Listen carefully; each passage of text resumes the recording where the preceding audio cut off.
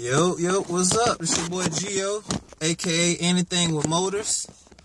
Uh, this subject right here is gonna be a little different today. I just wanted to say why they don't make no more SRT4s. And I'm curious.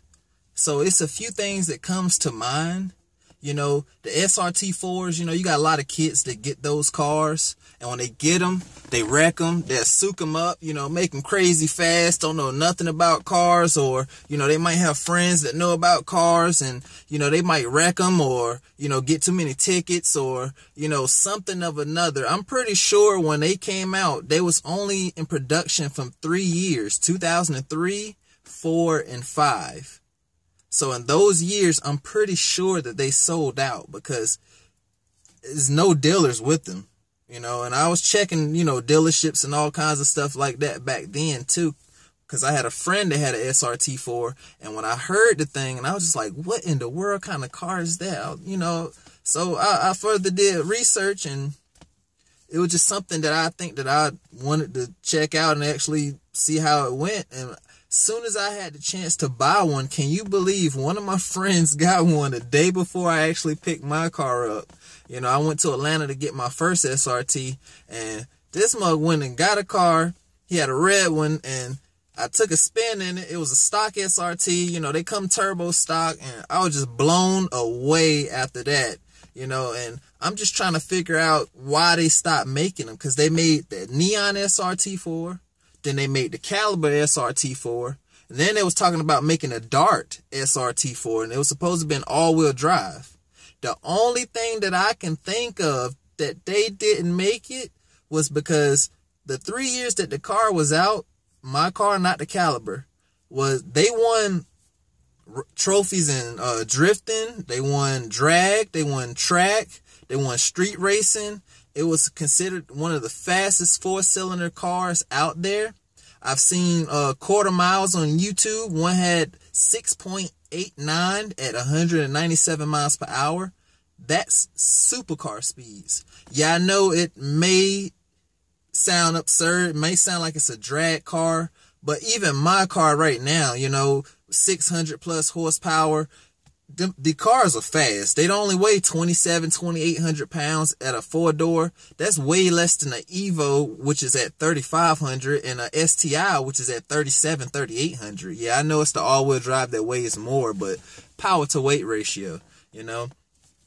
The only thing, another thing that comes to mind is why they stopped making them was because the cars was just too crazy fast, you know, and it was targeted for younger people, you know, younger kids around our age or younger, you know, and they're not fit for the car. Not many are. Some people can control the car, but you got crazy kids out here nowadays that just want to speed and just want to this and want to that. Like, yeah, I used to want to speed and I love speed and, you know, I don't like tickets though, you know, and I like driving fast, but turbo should actually keep you from speeding because you hear it before, you know, you actually start accelerating. Not like a Mustang where it's just, you know, really loud. You make a lot of noise and you just gun it out because you just hearing straight noise. So a turbocharged car, you know, you're hearing turbo. So you would think you would have the speed thing under control. One advantage that I can say that I do like about it, I like rare cars. I like different cars. Like me, one of my favorite cars as far as an exotic car is a 911 Turbo TechArt.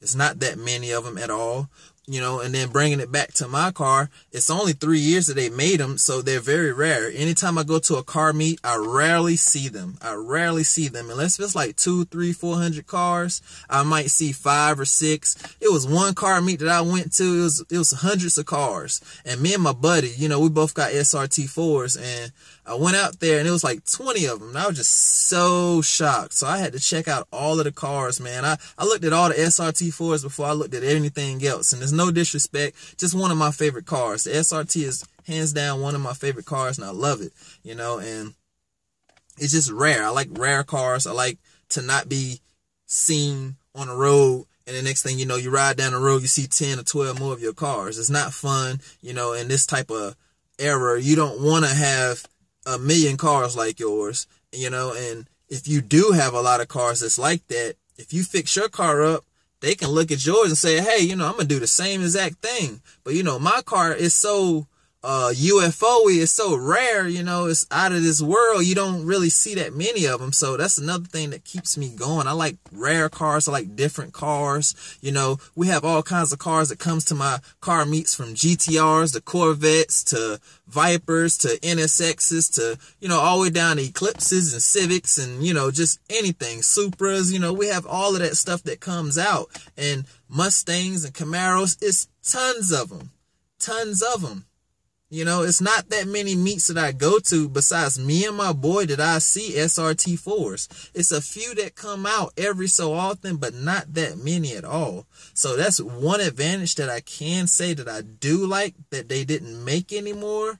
But if they did make more, it probably wouldn't have been a SRT4 I have. It would have been a Dart anyway. So it wouldn't have really mattered you know? And then the the thing that they have going now with the laws and stuff you got to put all this weight extra added weight for safety this and safety that. So it wouldn't even weigh 27 2800 pounds probably like 32 33 and then they talking all-wheel drive that would have been like right at evo and sti weight or the new focus rs weight you know? And the focus rs is is really taking over because they don't make evos no more you know? And sti they, they putting so much safety things in them the newer ones are slower than the old ones. And then they, they bringing out the Focus. They used to have the uh, SVT Focus.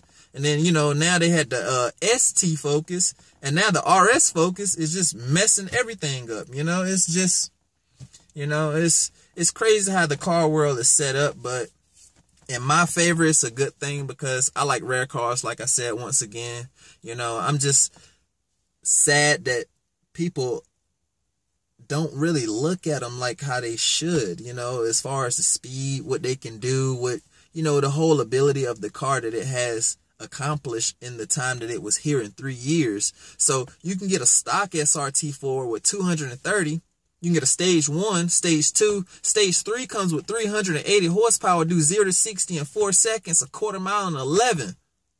That's faster than tuner cars today, like a STI or even an Evo or a Focus RS or, you know, um, Civic Si Type R or the Mugen or, you know,